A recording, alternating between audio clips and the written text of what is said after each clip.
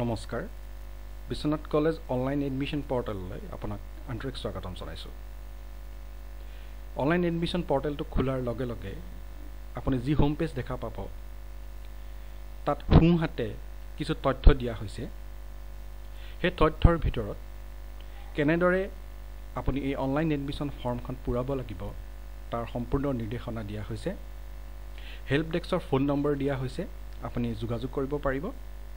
মই হাইলাইট কৰি দিছোঁ ইনষ্ট্ৰাকশ্যনছসমূহ ইয়াত important read instructions before applying ইয়াত ক্লিক হিয়েৰ লিখা আছে। এই বুটামটো ক্লিক কৰিলে আপুনি ইনষ্ট্ৰাকশ্যনছখিনি পঢ়িব পাৰিব। অথবা সোঁহাতে এই লিংকটোত ক্লিক কৰিলেও আপুনি ইনষ্ট্ৰাকশ্যনছখিনি পঢ়িব পাৰিব। ইয়াত আপোনাৰ একাডেমিক হেল্প ডেস্কৰ নম্বৰ দিয়া হৈছে। যদি আপুনি কিবা একাডেমিক হেল্প বিচাৰিছে তেনেহ'লে এই ফোন নম্বৰ দুটাত আপুনি যোগাযোগ কৰিব পাৰিব। আৰু কাৰিকৰী যদি কিবা অসুবিধাৰ সন্মুখীন হয় তেনেহ'লে টেকনিকেল হেল্প ডেস্কৰ দুটা নম্বৰ দিয়া হৈছে। এই দুয়োটা নম্বৰৰ যিকোনো এটাত আপুনি যোগাযোগ কৰিব পাৰিব। অথবা হেল্প ডেস্কৰ টেকনিকেল নাম্বাৰটোত আপুনি ইমেইলো কৰিব পাৰিব। ৱেবছাইটটোত ওপৰত যিখন মেনু ওলাই আছে তাত মেইন ৱেবছাইট ক্লিক কৰিলে বিশ্বনাথ মহাবিদ্যালয়ৰ মেইন ৱেবছাইটটোলৈ আপুনি ঘূৰি যাব পাৰিব। প্ৰাইভেচি পলিচি এই প্ৰাইভেচি পলিচিত আমি ঘোষণা কৰিছোঁ যে যি তথ্য আমি আহৰণ কৰিছোঁ এই অনলাইন এডমিশ্যন পৰ্টেলৰ যোগেদি সেই তথ্য আমি গোপনে ৰাখিম আৰু একমাত্ৰ বিশ্বনাথ মহাবিদ্যালয়ৰ শৈক্ষিক কাম কাৰ্যতহে ব্যৱহৃত হ'ব। কোনো ধৰণৰ এডভাৰটাইজিং বা প্ৰমোশ্যন আপোনালৈ পঠিওৱা নহ'ব।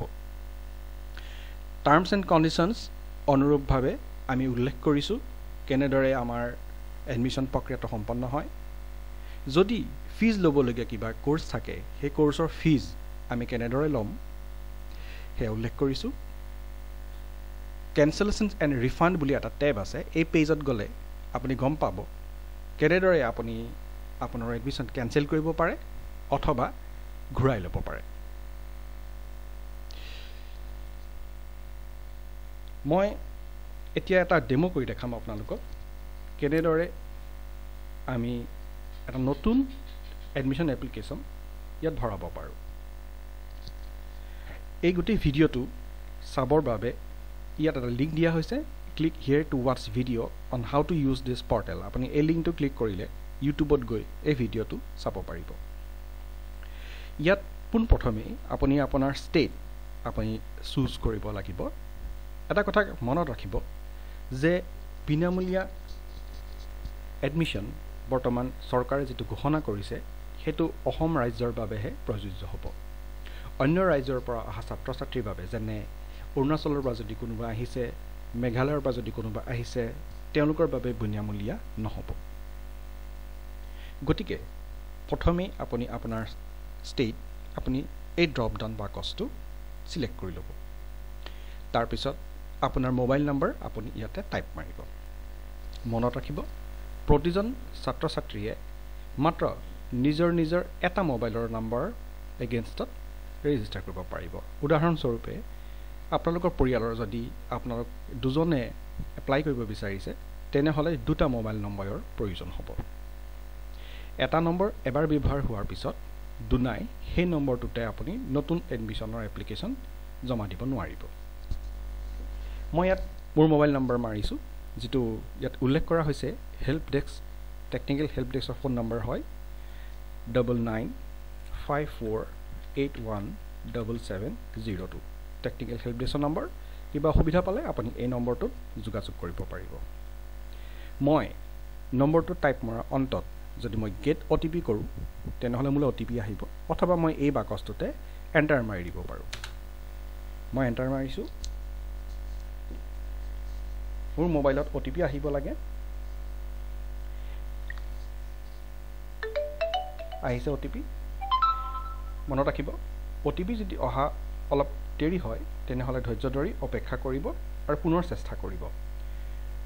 মোৰ অহা অ' টি পি হ'ল five two five nine four one five two five nine four one মই এণ্টাৰ মাৰি দিব পাৰোঁ অথবা ভেৰিফাই অ' টি পিও কৰিব পাৰোঁ। গতিকে মই এণ্টাৰ মাৰি দিছোঁ যিহেতু মই কম্পিউটাৰত আছোঁ। লগত লগত মোৰ নামত এটা একাউণ্ট ক্ৰিয়েট হৈ গৈছে আৰু মোৰ মোবাইলত এটা এছ এম এছ আহিছে যে you have been successfully registered অৰ্থাৎ মই যে ৰেজিষ্টাৰ কৰিছোঁ। এতিয়া মই নিজেই নিজে ইয়াত লগ ইন হৈ গৈছোঁ। ৰেজিষ্টাৰ কৰাৰ পিছত আপুনি আকৌ লগ ইন কৰিবলৈ যাব নালাগে। অট'মেটিক আপুনি লগ ইন হৈ যায়। লগ ইন হোৱাৰ পিছত যিখন স্ক্ৰীণ খোল খায় তাত আপুনি দেখা পাব চাৰিটা ছেকশ্যন প্ৰথমটো হৈছে প্ৰফাইল দ্বিতীয়টো মাৰ্কছ তৃতীয়টো ছাবজেক্টছ আৰু চতুৰ্থটো হ'ল ফাইল আপলোডছ প্ৰফাইলত আপুনি নিজৰ প্ৰফাইল নিজৰ বায়'ডাটা আপুনি জমা দিব লাগিব। ইয়াত নিজৰ পিতৃ মাতৃৰ নাম নিজৰ ধৰ্ম ইত্যাদি। আপুনি লিখিব লাগিব। মাৰ্কছ আপুনি পাছ কৰা ৰিচেণ্ট এক্সামিনেশ্যন যদি আপুনি হায়াৰ ছেকেণ্ডেৰীৰ বাবে এপ্লাই কৰি আছে তেনেহ'লে মেট্ৰিকৰ আৰু যদি আপুনি ডিগ্ৰীৰ বাবে এপ্লাই কৰি আছে তেনেহ'লে আপুনি হায়াৰ ছেকেণ্ডেৰী মাৰ্কছ দিব পাৰে। ছাবজেক্টছ আপুনি কি কি ছাবজেক্ট ছিলেক্ট কৰিব সেই গোটেই ছাবজেক্টখিনি এই স্ক্ৰীণত ওলাব। কিন্তু এটা কথা মনত ৰাখিব যেতিয়ালৈকে আপুনি চৰি যেতিয়ালৈকে আপুনি এই মাৰ্ক স্ক্ৰীণখনত এই কোৰ্চটো ছিলেক্ট নকৰে তেতিয়ালৈকে এই ছাবজেক্ট স্ক্ৰীণত আপুনি একো দেখা নাপায়। এইটো কোনো টেকনিকেল বিজুতি নহয় আপুনি ইয়াত ক্লিক কৰি আগতে ছিলেক্ট কৰিব লাগিব আপোনাৰ কি কোৰ্চ আপুনি এপ্লাই কৰিব বিচাৰিছে। ফাইলত আপলোডছত আপোনাৰ তথ্য পাতি আপুনি ডকুমেণ্ট আকাৰে জমা দিব লাগিব। ইয়াৰে কিছুমান মেণ্ডেটৰী আৰু বাকীখিনি অপশ্যনেল আপুনি দিবও পাৰে নিদিবও পাৰে। মই যিকোনো স্ক্ৰীণত থাকোঁতেই মই ছেভ ক্লিক যদি কৰি দিওঁ তেতিয়াহ'লে আপুনি দেখা পাব যে কিছুমান মেছেজ আহিছে মোৰ তাত আৰু হাইলাইট হৈ গৈছে স্ক্ৰীণত ইয়াত কিবা কিবি মোক এৰৰ মেছেজ দেখাইছে অৰ্থাৎ সম্পূৰ্ণভাৱে এখন মই ফিল আপ কৰাই নাই। মই ইয়াতে ফিল আপ কৰিব লাগিব। গতিকে মই ফাৰ্ষ্ট নেম যিটো মেণ্ডেটৰী হয় মিডিল নেমটো মেণ্ডেটৰী নহয় দিব পাৰে যদি আছে আপোনাৰ। Test father's name test mother's name test date of birth মই ডেট অফ বাৰ্থটো চিলেক্ট কৰিম মই এনেই কিবা এটা চিলেক্ট কৰিছোঁ ইয়াতে তো মই কিবা এটা এনেই চিলেক্ট কৰিছোঁ। এটা কথা মই এইখিনিতে ক'ব বিচাৰিছোঁ যদি কোনোবা ব্ৰাউজাৰত মাজত ক্লিক কৰোঁতে ডেট পিকাৰটো যদি অহা নাই তেনেহ'লে এই ডেট পিকাৰৰ বাকচটোৰ সোঁহাতে বৰ্ডাৰটোত যদি আপুনি ক্লিক কৰে সি সহজে খোল খায়। ইমেইলটো মেণ্ডেটৰী নহয় দিলে ভাল। বেংক একাউণ্ট নম্বৰটো মেণ্ডেটৰী হয় আপুনি দিবই লাগিব। মই বেংক একাউণ্ট নম্বৰ মাৰি দিছোঁ demo. I F S C code of the branch. যদি আপুনি নাজানে তেনেহ'লে আপোনাৰ বেংকৰ পাছবুক ফ্ৰণ্ট পেজটো প্ৰথম পৃষ্ঠাটোত আই এফ চি ক'ডটো লিখা থাকিব। যদি তাতো নাপায় তেনেহ'লে ইণ্টাৰনেটত ছাৰ্চ কৰিলে নিশ্চয় পাব। I F S C code আপুনি দিবই লাগিব। মই I F S C code এনে এটা ডেমো মাৰি দিছোঁ আপুনি বিচাৰি উলিয়াই ল'ব। কাষ্ট। কাষ্ট মেণ্ডেটৰী আপুনি চিলেক্ট কৰিব লাগিব। যদি কাষ্ট আপুনি জেনেৰেলৰ বাহিৰে বেলেগ কিবা চিলেক্ট কৰিছে তেনেহ'লে ডকুমেণ্টছ প্ৰভাইড কৰিব লাগিব। অৰ্থাৎ আপুনি যদি O' B C M O' B C S C S T P এইকেইটাৰ ভিতৰত যিকোনো এটা চিলেক্ট কৰে তেনেহ'লে এই ফাইল আপলো আপলোডছত আপুনি সেই কাষ্ট চাৰ্টিফিকেটখন অৰ্থাৎ এই পাঁচ নম্বৰখন আপুনি দিব লাগিব বাধ্যতামূলক কিন্তু যদি আপুনি কাষ্টত যদি আপুনি জেনেৰেল চুজ কৰিছে তেনেহ'লে সেই ডকুমেণ্টখন নিদিলাকৈ হৈ যাব। ৰিলিজন এইটোতো মেণ্ডেটৰী এইটো চিলেক্ট কৰিবই লাগিব আপুনি। মই মোৰ টেষ্ট এড্ৰেছ মই ইয়াত টাইপ মাৰি দিছোঁ। যদি একে হয় আপুনি ছেইম এজ পাৰ্মানেণ্ট এড্ৰেছ মাৰিব পাৰে অথবা ৰেচিডেঞ্চিয়েল এড্ৰেছ আৰু পাৰ্মানেণ্ট এড্ৰেছ যদি বেলেগ বেলেগ হয় আপুনি ইয়াত পুনৰ টাইপ মাৰি দিব। মই same as permanent address click কৰি দিছোঁ গতিকে একে এড্ৰেছ আহি গৈছে দুই ঠাইতে। আচ্ছা। ইয়েৰ অফ পাছিং আপুনি ইয়েৰ অফ পাছিংটো চুজ কৰিব। লাষ্ট একাডেমিক ৰোল নাম্বাৰ আপুনি আপোনাৰ ৰোল নাম্বাৰ ভৰাই দিব ইয়াত। যি আছে। বি পি এল ষ্টেটাছ এতিয়া বি পি এল আপুনি চুজ কৰিব পাৰে যদি আপোনাৰ ডকুমেণ্টখন আছে। এতিয়া যিহেতু ফ্ৰী এডমিশ্যন দিয়া হৈছে গভৰ্ণমেণ্ট ৰিকগনাইজ কোৰ্চৰ বাবে গতিকে বি পি এল চুজ কৰিলেহে যে ফ্ৰী পাব এনে কোনো কথা নাই। কিন্তু যদি আপোনাৰ বি পি এল ডকুমেণ্ট আছে আৰু আপুনি বি পি এল কেটেগৰীত পৰে তেন্তে এইটো নিশ্চয় ক্লিক কৰিব। যদি ক্লিক কৰে তেনেহ'লে আপুনি বি পি এল ডকুমেণ্ট জমা দিব লাগিব। Physically physical status differently abled differently এবল্ডৰ ভিতৰত যদি আপুনি পৰে সেই কেটেগৰীত তেনেহ'লে আপোনাৰ আপুনি এই বক্সটো চেক কৰিব আৰু আপুনি ডকুমেণ্টছ প্ৰভাইড কৰিব লাগিব। এগ্ৰিমেণ্ট আছে? I agree to the terms and conditions আপুনি টাৰ্মছ এণ্ড কণ্ডিশ্যনছখিনি ক্লিক কৰিলে পুনৰ আপুনি আপোনাৰ এই টাৰ্মছ এণ্ড কণ্ডিশ্যনছখিনি ওলাব আপুনি পঢ়ি ল'ব পাৰে। এইখিনি আপুনি এগ্ৰি কৰিছোঁ বুলি আপুনি চেক বক্সটো ক্লিক কৰিব। ডিক্লেৰেশ্যন ইয়াত এটা ডিক্লেৰেশ্যন ষ্টেটমেণ্ট আছে য'ত লিখা আছে যে যদি আপুনি কিবা ভুল তথ্য জমা দিছে তেনেহ'লে আপোনাৰ এডমিশ্যনটো নাকচো হ'ব পাৰে। মই প্ৰফাইল মাত্ৰ পূৰাইছোঁ আৰু মই ছেভ ক্লিক কৰিছোঁ কিন্তু ছেভ হোৱা নাই। লগে লগে আপোনাৰ দুই নম্বৰ টেবটো খোল খাইছে য'ত আপোনাক কোৰ্চটো চিলেক্ট কৰিবলৈ দিছে। মনত ৰাখিব মোৰ প্ৰফাইল কিন্তু ছেভ নাই হোৱা। এই ষ্টেজত যদি মই লগ আউট কৰি ওলাই যাওঁ তেনেহ'লে আপুনি প্ৰফাইলত ভৰোৱা আপোনাৰ বায়'ডাটা ছেভ হৈ নাথাকে। ই কোনো টেকনিকেল বিজুতি নহয় কিন্তু আমি আধৰুৱা ইনফৰ্মেশ্যন জমা দিবলৈ নিদিওঁ। আপুনি এই চাৰিটা টেবৰ তথ্য একেবাৰতে টাইপ মাৰি জমা দি ছেভ কৰি থৈ দিব পাৰে। কিন্তু ছেভ কৰাৰ লগে লগে ইয়াতে ছেভ আৰু লগাটোৰ ওচৰত এটা কনফাৰ্ম বুটাম আৱিৰ্ভাৱ হ'ব। এই বুটামটোক কনফাৰ্ম বুটামটো ক্লিক কৰিলেহে আপোনাৰ ফৰ্মখন বিশ্বনাথ মহাবিদ্যালয় পাব অন্যথা নাপায়। এতিয়ালৈকে মই ছেভ কৰা নাই ছেভ কৰিব নাই পৰা। গতিকে মই মাৰ্কছত যাওঁ আৰু মই চিলেক্ট কৰিব বিচাৰিছোঁ মই কোনটো কোৰ্চত পঢ়িম। মই S S first year arts লৈছোঁ। আৰু লগে লগে মোৰ মাৰ্কছ আহিছে। মই ইয়াতে ছাবজেক্টবিলাক মই ইয়াত ভৰাব লাগিব। গতিকে মই ছাবজেক্ট ভৰাম। মাৰ্কছ দিম ইয়াতে। মই এশ দিছোঁ। মই ছাবজেক্টৰ নেম দিছোঁ। আপুনি যিকেইটা ছাবজেক্ট আপোনাৰ আছে এই ইয়াতে মই এও দিব পাৰোঁ। যদি মই গ্ৰেড এ দিওঁ বা গ্ৰেড বি দিওঁ ই ছেভ হৈ যাব। অৰ্থাৎ যদি আপোনাৰ অনুষ্ঠানটিয়ে আপোনাক বৰ্ডে যদি গ্ৰেডত নম্বৰ দিছে আপুনি দিব পাৰে। অথবা আপুনি সংখ্যাটো ইয়াত দিব পাৰে। দুইটাই ছাপৰ্ট কৰে দুইটাই ছেভ হৈ যাব। ঠিক তেনে এই আটাইকেইটা মেণ্ডেটৰী আটাইকেইটাতে মই দিব লাগিব। গতিকে মই আটাইকেইটাতে এশ এশ ভৰাই দিছোঁ। ছটা ছাবজেক্ট ভৰাব লাগিব।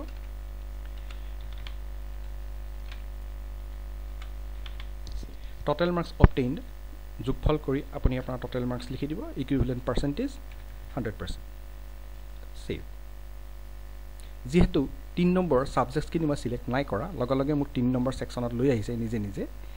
কম্পালচৰি ছাবজেক্ট ওৱান ইংলিছ আপুনি সলাব নোৱাৰে। Compulsory subject two environmental studies আপুনি সলাব নোৱাৰে। M I L Assamese Nepali Bodo Hindi all English Bengali এইকেইটাৰ ভিতৰত আপুনি চুজ কৰিব লাগিব মই অসমীয়া চুজ কৰিছোঁ। ইলেক্টিভ মেথামেটিক্স আপুনি এইকেইটা ছাবজেক্টৰ ভিতৰত ইলেক্টিভ ল'ব পাৰে। মনত ৰাখিব আপোনাৰ কম্বিনেশ্যন যদি কিবা কাৰণত ভুল হয় তেনেহ'লে শুধৰোৱা সম্পূৰ্ণ অধিকাৰ কলেজখনৰ থাকিব। ছেভ ক্লিক কৰিছোঁ কিন্তু আকৌ আহিছে মেছেজ অৰ্থাৎ মোৰ নাই হোৱা ফৰ্মখনত পাছপৰ্ট ফটোগ্ৰাফ মই ফটোগ্ৰাফ দিব লাগিব। মই পাছপৰ্ট ফটোগ্ৰাফ চুজ কৰিব বিচাৰিছোঁ যিহেতু মোৰ লগত নাই মই এখন যিকোনো ডেম' ডকুমেণ্ট ইয়াত দি দিছোঁ। এজ প্ৰুফ এজ প্ৰুফত আপুনি মেট্ৰিকৰ এডমিট দিব পাৰে অথবা আপুনি আপোনাৰ বাৰ্থ চাৰ্টিফিকেট দিব পাৰে। মোৰ লগত মই এখন ডেম' ডকুমেণ্ট থৈ দিছোঁ সেইখনকে মই দি দিছোঁ। ৰিলেভেণ্ট মাৰ্কশ্বিট যদি আপুনি হায়াৰ ছেকেণ্ডেৰীৰ কাৰণে এপ্লাই কৰি আছে তেনেহ'লে আপুনি মেট্ৰিকৰ মাৰ্কশ্বিট দিব। যদি আপুনি ডিগ্ৰীৰ কাৰণে এপ্লাই কৰি আছে তেনেহ'লে আপুনি হায়াৰ ছেকেণ্ডেৰী মাৰ্কশ্বিট দিব।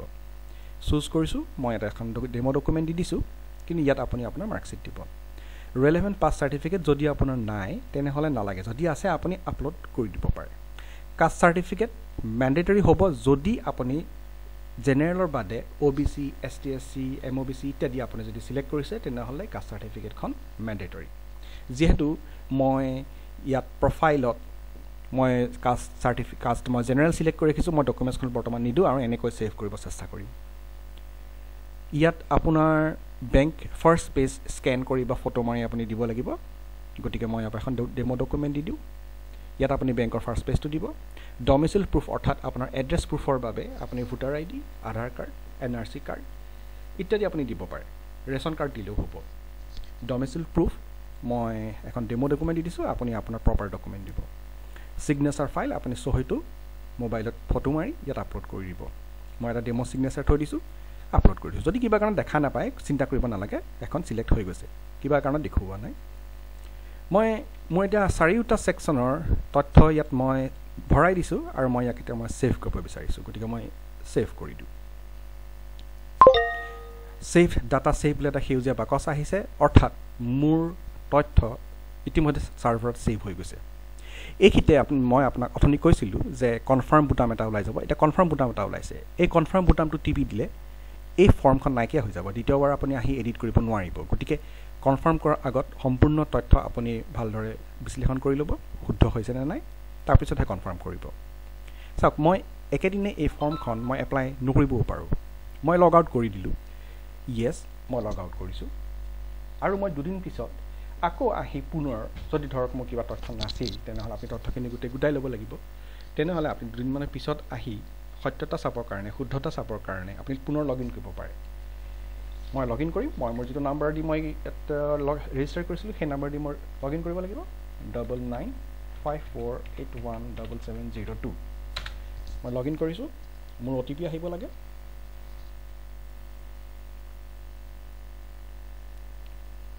আহিছে। Six three five one two seven log in কৰাৰ লগে লগে আপোনাৰ এটা ছিকিউৰিটি এলাৰ্ট আহে আপোনাৰ মোবাইলত যে আপুনি লগ ইন কৰিছে এডমিশ্যন ছিষ্টেমত আহিছে। You have log in to B N C admission app এতিয়া মই দেখা পালোঁ যে অথনি মই যিখিনি ইয়াতে মই ডাটা দিছিলোঁ সেই গোটেইখিনি আছে। আপুনি ভেৰিফাই কৰি ল'ব পাৰে যে আপুনি দিয়া তথ্যখিনি ঠিকে ঠাকে আছেনে নাই আৰু সেইমতে আপুনি হয় পুনৰ ইয়াক সম্পাদনা কৰিব পাৰে অথবা আপুনি কনফাৰ্ম কৰি দিব পাৰে। যদি আপুনি ছেভ কৰিব বিচাৰিছে তেনেহ'লে পুনৰবাৰ আপুনি I agree to terms and conditions আৰু I do hereby declare এই ডিক্লেৰেশ্যন ষ্টেটমেণ্টটো আপুনি চেক বক্সটোত টিক কৰিব লাগিব। আৰু যদি আপুনি কনফাৰ্ম কৰিব বিচাৰিছে তেনেহ'লে এইটো ক্লিক নকৰাকৈ অৰ্থাৎ এগ্ৰিমেণ্টৰ ডিক্লেৰেশ্যন পুনৰবাৰ চেক নকৰাকৈ আপুনি কনফাৰ্ম কৰি দিব পাৰিব। এইখিনি মই ক'ব বিচাৰিছোঁ যে ধৰক মই দেখুৱাব বিচাৰিছোঁ যে চাৰ্টিফিকেট যদি মই কাষ্টটো বেলেগ কৰি দিওঁ তেনেহ'লে মোক ডকুমেণ্ট বিচাৰিবনে নাই? অথনি মই যিহেতু জেনেৰেল দিছিলোঁ ইয়াত মোক কাষ্ট চাৰ্টিফিকেটখন ইয়াত প্ৰযোজ্য হোৱা নাই। ইয়াত মই কাষ্ট চাৰ্টিফিকেট নাই দিয়া। তো মই ইয়াতে কাষ্ট মই এছ চি দি দিছোঁ ধৰক মই এ চিত পৰোঁ এতিয়া যদি মই ছেভ কৰিব বিচাৰোঁ তেনেহ'লে আপোনাক কৈছে যে আপুনি you have to agree okay মই এগ্ৰি কৰি দিছোঁ। আৰু মই ছেভ কৰিছোঁ কিন্তু ইয়াত কৈছে যে কাষ্ট চাৰ্টিফিকেট ইজ মিচিং কিয় মিচিং বুলি ক'লে? কিয়নো মই ইয়াত এছ এছ চি চিলেক্ট কৰিছোঁ কাষ্টত কিন্তু এই বস্তুটো যদি মই জেনেৰেল কৰি দিওঁ তেতিয়া কিন্তু নোখোজে। কিন্তু যদি মই ইয়াতে এছ চি বুলি কৰোঁ তেনেহ'লে কিন্তু সি ডকুমেণ্ট খুজিব। মই ছেভ কৰিছোঁ caste certificate is missing okay মই ফাইল আপলোডত যাওঁ। আৰু ফাইল আপলোডত গৈ মই কাষ্ট চাৰ্টিফিকেটখন ক'ত আছিলে? এইখন কাষ্ট চাৰ্টিফিকেট ৰিকুৱাৰ্ড অ'কে মই এখন ডকুমেণ্ট দি দিছোঁ। অ'কে মই ছেভ কৰি দিলোঁ চাওঁ এটা ছেভ হোৱা নাই কাষ্ট চাৰ্টিফিকেট ইজ ক'ত গ'ল আকৌ এবাৰ দি দিওঁ কিবা কাৰণত যদি নলয় তেনেহ'লে আপুনি আকৌ এবাৰ দি দিব পাৰিব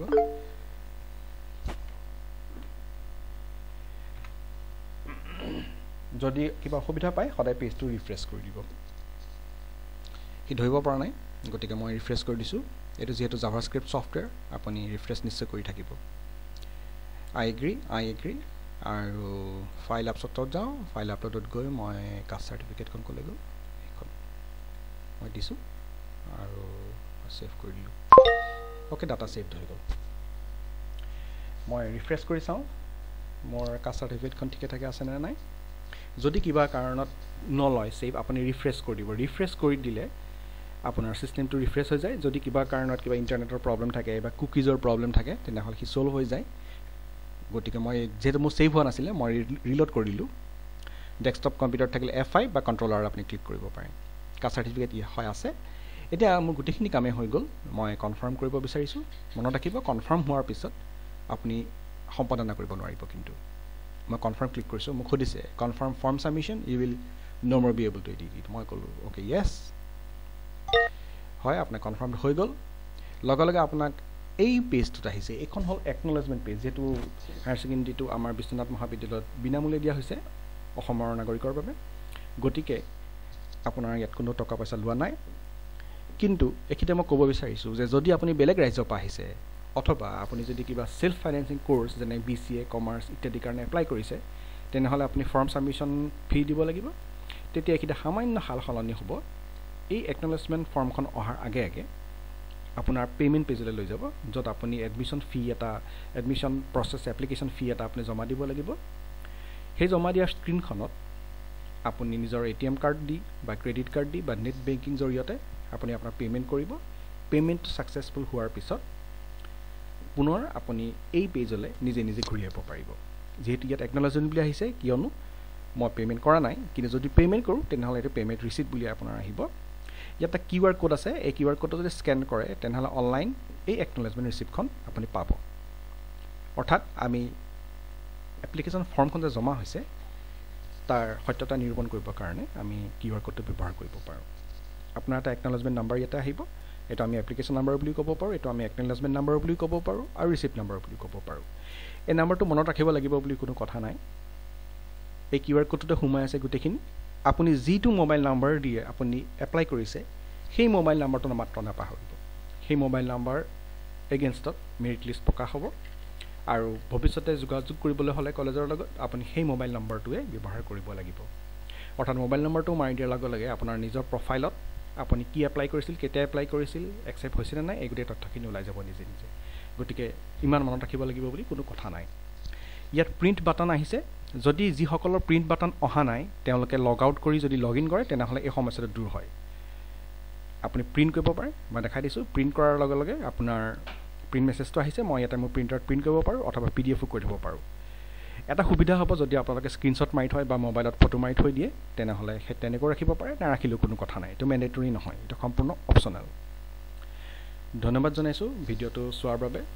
আশা কৰোঁ আপোনালোকে বুজি পাইছে কেনেদৰে এপ্লাই কৰিব লাগে অনলাইন কিবা অসুবিধা পালে হোম পেজত দিয়া টেকনিকেল হেল্প ডেস্ক ফোন নম্বৰত নিশ্চয় ফোন কৰি ল'ব। ধন্যবাদ।